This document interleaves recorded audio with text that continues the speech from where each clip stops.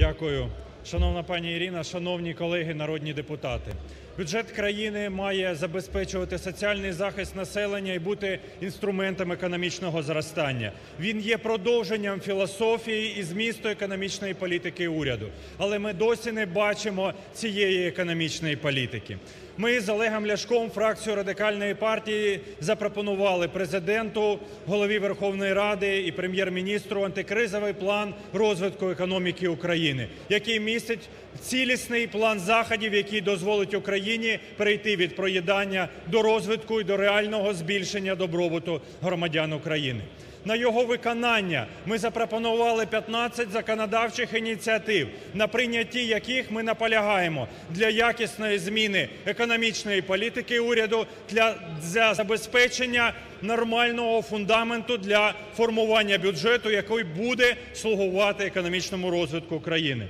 Я хочу наголосити, що незважаючи на те, що декілька з наших пріоритетних законодавчих ініціатив підтримані парламентом, але більшість потребує негайного. Серед них соціальні, економічні, енергетичні ініціативи.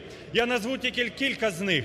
Це проект Закону 4998 щодо захисту конституційних прав, забезпечення мінімальних потреб громадян, щоб сьогодні 500 тисяч українців, людей з інвалідністю І, ІІ, ІІІ групи, жінок, які достроково вийшли на пенсію, пенсіонерів, щоб вони сьогодні мали соціальну допомогу хоча б на рівні прожиткового мінімуму. Сьогодні цього немає, вони мають менше тисячі гривень. Покажіть, хто може сьогодні прожити менше ніж на тисячу гривень. Ми маємо це виправити.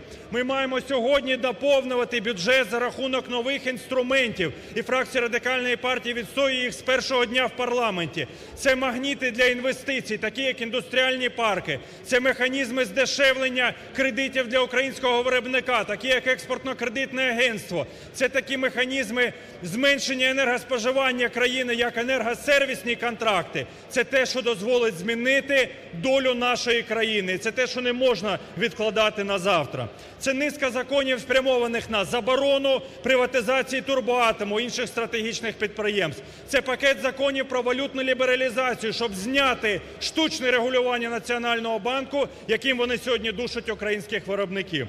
І ще низка законопроектів. Більш того, сьогодні фракція Радикальної партії за підтримки колег з інших фракцій та груп ініціює зміни до Конституції України в частині мандату Національного банку, щоб Український національний банк відповідав не тільки за стабільність гривні, а як і в США, в Малайзії, в Австралії сприяв економічному зростанню країни, забезпечував невелику вартість довгострокових кредитів, а також сприяв забезпеченню зайнятості населення, бо це є головна мета роботи держави – добробут громадян і зайнятість населення. Дякую.